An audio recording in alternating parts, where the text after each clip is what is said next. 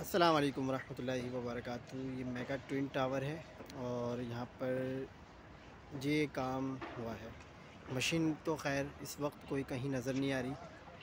आसपास